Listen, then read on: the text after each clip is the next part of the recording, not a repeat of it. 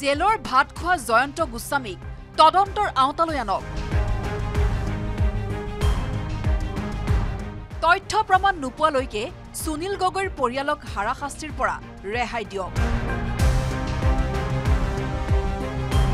ঢকুৱাখানা প্ৰশাসন আৰু আৰক্ষীক আহ্বান সাপতীয়া চেতিয়াগাঁও উন্নয়ন সমিতিৰ।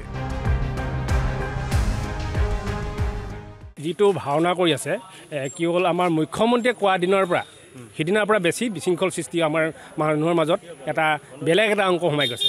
গতিকে এই মুখ্যমন্ত্ৰীৰ বক্তব্যটোৰ ওপৰত আমি সন্দেহ কৰিছোঁ। আৰু কি হ'ল এ, ঘৰখনৰ সুনীল গগৈ ঘৰ পৰিয়ালক যাতে হাঁচতি নকৰে এইটো এটা প্ৰস্তাৱ কৰিবৰ কাৰণে প্ৰস্তাৱ লৈছে আমাৰ গাঁৱৰ ৰাইজে।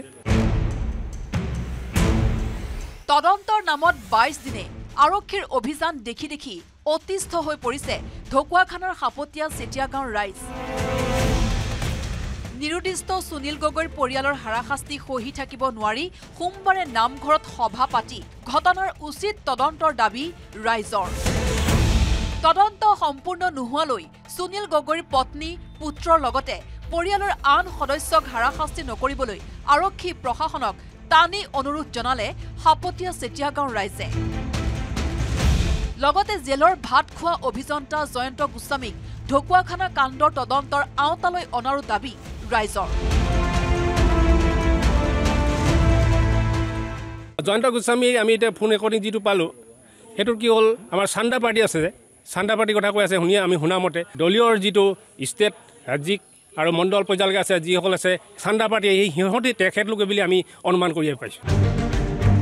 সোমবাৰে আন এক পাক ললে ঢকুৱাখানা কাণ্ডই।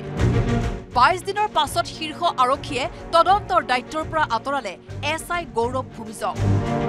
এতিয়াৰে পৰা S D P O' Sudhanya শুক্লবৈদ্যই চম্ভালিব ঢকুৱাখানা কাণ্ডৰ তদন্ত। নতুনকৈ তদন্তৰ দায়িত্ব পোৱাৰ পাছত সোমবাৰে পুৱা দলে বলে সুনীল গগৈৰ ঘৰত সুধেন্য শুক্লবৈদ্যৰ নেতৃত্বত উপস্থিত হ'ল আৰক্ষীৰ দল। সুনীল গগৈৰ পৰিয়ালক আৰক্ষীয়ে সোধা পোছা কৰাৰ পাছতেই নামঘৰৰ সভাত জাহাংগীৰ।